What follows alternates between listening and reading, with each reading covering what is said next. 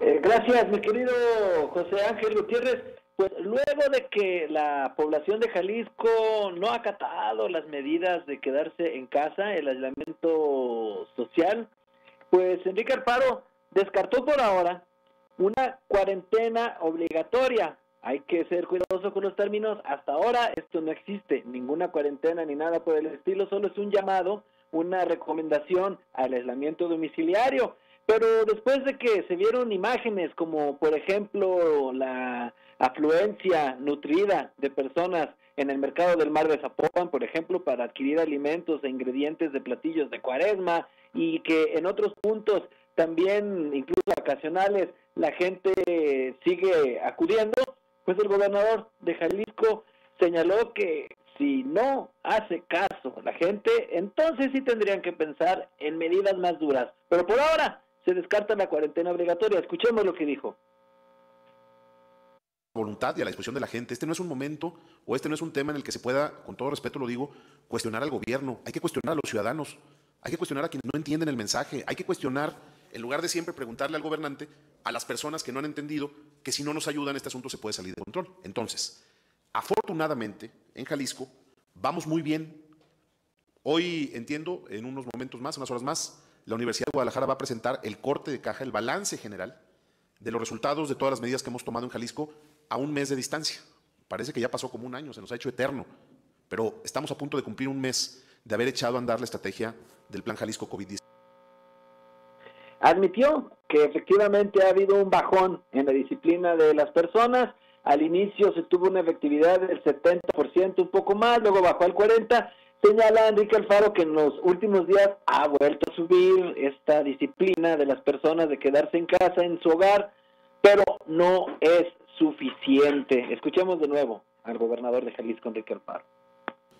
Porque al final yo creo que ha quedado claro que eh, hemos trabajado hasta el límite de nuestra capacidad, estamos haciendo todo lo que está a nuestro alcance y lo digo de esta manera porque voy a anunciar eh, lo que sigue después de esta evaluación y este corte de caja que se hace el día de hoy. Eh, voy a anunciar en dónde estamos y lo que viene el día de mañana por la noche. El sábado en la noche haremos un balance general y lo que yo quiero adelantar es que espero confío en que Jalisco no tenga que decretar otro tipo de medidas de carácter obligatorio por algunos que no entienden. Yo no quiero que lleguemos a eso. Si ustedes ven cómo va Jalisco, pues se van a dar cuenta que las medidas que aquí tomamos han dado resultados, pero viene.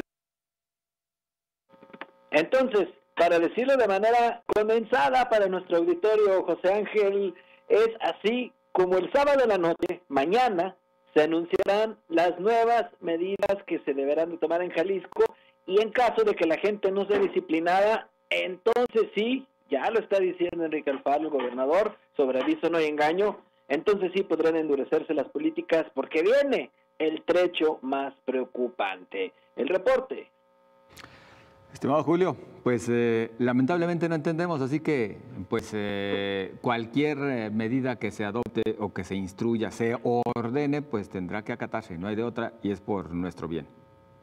Efectivamente, lo que también agregaba el gobernador Enrique Alfaro es que ya en estas alturas no se le puede echar la culpa a las autoridades municipales, estatales, porque ellos han dado la información por todos los medios posibles y que ahora sí dice a quien lo toca es, la a la sociedad.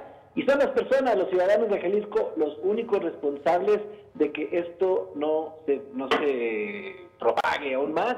Y dijo, eh, puso la reflexión que imagínense que en las imágenes que se vieron en el, en el mercado del mar, una sola persona que hubiera estado contagiada que acudió a hacer las compras, ni hablar el, la infección que se pudiera propagar. Entonces, ahora sí que hay que tomarlo muy en serio. Viene lo más difícil e incluso pues hay más casos de los que se registran. Eh, Enrique Alfaro habló un poco de eso, de cómo el modelo Centinela eh, pues eh, no, no, no, registra entre 8 y 9 casos más de los que sí están observados. Entonces, todo esto debería de ser reflexionar a, los ciudadanos de que hoy más que nunca es tiempo de quedarse en su hogar. Pues sí, eh, ya no hay otra oportunidad, Julio. O atendemos el llamado o a ver qué sucede. Bueno, en fin, gracias Julio, muy amable. Gracias y estamos al pendiente.